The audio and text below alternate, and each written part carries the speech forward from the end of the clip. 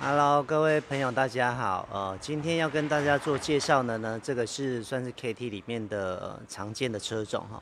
这一台呢是 T 打一代的 T 打，那这一台是四门款的，所以它的底孔、底盘底可以看到哈，它是呃四孔。新款的话，Big T 打或者是 IT 打呢，才是五孔的底盘。那今天除了要安装呃 KT 的道路板避震器之外哈。还有一个工作啊，就是要把它前面的下三脚架呢，替换成强化的哈。这个是呃龙影台湾 Summit 的产品。好，除了避震器之外呢，还要再把下三脚架前面的三脚架呢，把它做替换。那避震器的部分呢，已经安装好了。我们先来看一下它原厂拆下来的避震器哈。这个呢是右边的避震器哈。这一支的话是左边，这个是前面的哈。那前面的话呢，上座的部分呢，KT 都有附，所以不需要呢再沿用原厂的上座。那后面的避震器，它的结构是脱衣臂的，所以呃弹簧跟避震器呢是分开的哈。那上部的这些橡皮零件呢，KT 呢也都有附。那前面的话，四 D 的版本呢，一般的话我们是配置的六公斤，或者是要重一点，七公斤也可以。后面的话呢，配置的是五公斤，那要更重一点的话呢，也有六点多公斤的可以搭配，所以它的选择性呢相当的多元化。那目前呃轮胎铝圈呢都还是维持原厂十五寸的规格。啊，这个是呃后面的避震器哈已经安装好了，它的调整机构呢是在上方的哈，弹簧调整机构在上方。这个呢就是弹簧调整机构哈，那后面的弹簧呢，刚刚提到过了，是配置的呃五公斤的弹簧，一百七十乘五公斤。那这个是后面的筒身啊，它的行程呢其实很长哈。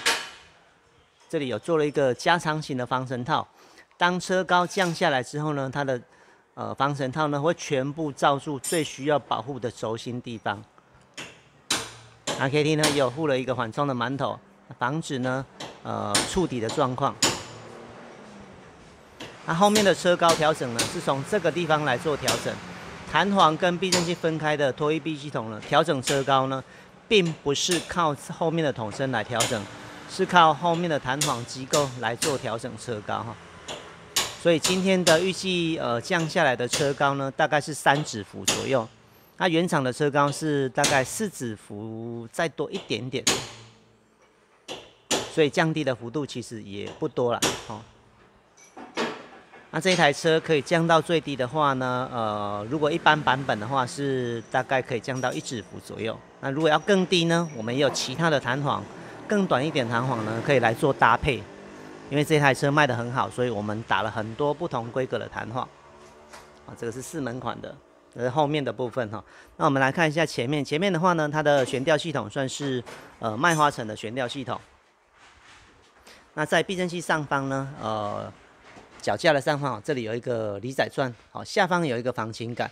那离载钻的固定位置呢，就跟原厂一样，所以就直接沿用原厂的离载钻就可以了。那前面的话，我们配置的是六公斤的弹簧，好，这是一般道路版的比较舒适的版本，六公斤的。那一些油管固定架然后，还有 ABS 感应线呢，这些有预留孔，但四门款的呃这个这这台呢，并没有 ABS，所以只有留下预留孔而已。啊，这个是油管固定位置。那前面的弹簧呢？呃，在这里，好，它的车高调整呢，预计也是大概三指幅左右。那车高的调整呢，是从这个托盘把它旋松，这个蓝色的脚管呢往下延伸，它的长度变长之后，车高就变高。那相反的，如果这里的间距呢缩短，它的车高就变低。那整体上来说呢，它的弹簧预载值，我们出厂的时候都已经设定好了，所以这个些的预载呢就不再动了哈。那唯一要调整的就是车高的部分。那等一下还要替换的是这个下三脚架哈，会换成龙影 Summit 的呃强化的下三脚架。啊，前面阻尼的调整部分哈，在这个地方，这台车呢，呃，其实它有它的上座是有三颗螺丝，这里有预留了一个维修孔。那这个维修孔呢，呃，比较不好拆，所以我们会把它上饰盖呢全部都拆掉。那阻尼调整的部分哈，前面的话呢是在这里。在避震器上座上上座的中心这里。我们有附刚刚说了有附上座，这个轴承呢还是日本口柚的轴承哈。那阻尼的调整呢，从这个地方哈，顺时针的话它就是变硬，逆时针呢变软，它一共有三十段的阻尼可以调整。那镜头中有看到白色的哈，因为这台车呢，嗯，它是在室盖的下方，所以这里呢。即便是原厂也会常常会有积水、会有生锈的状况，那我们有涂覆了一些呃黄油，来延缓它生锈的状况。啊，如果车主有一般使用的时候做保养呢，也可以在洗完车或者是雨季的时候呢，稍微涂喷涂一点黄油。那在阻尼用油的部分呢，呃，我们所使用的是意大利一整桶进口的 IP 阻尼油。啊，油封的部分所使用的是日本 NOK 的油封，用料的话都相当的不错哈。好，我们来看一下后面的部分哈。列当清切啊，宝金。后面的话呢，呃，阻尼调整部分跟车友们做介绍一下。这个其实我们在 YouTube 里面也有呃 Big T 打的详细介绍了哈。那这一台的呃后面阻尼呢调整相当的方便哈，不论是四门款的或者是 Big T 打 IT 打呢，在后面的行李箱里面呢，好，这是后面的行李箱。当行李箱的两侧呢，避震器的上方。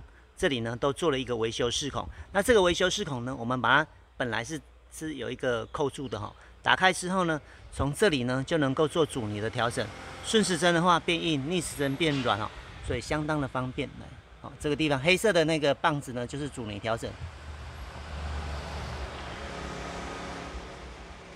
好，那后面已经安装好了，那现在的工作呢就是在要安装呃前面的下三脚架。因为三脚架的状况不是很好，所以要直接把它开换成三米特强化式的。OK，以上是今天的呃四门款的 T 档哈的呃安装 KT 避震器的介绍。那如果有兴趣的话呢，欢迎跟我们联络，KT 热线，谢谢，拜拜。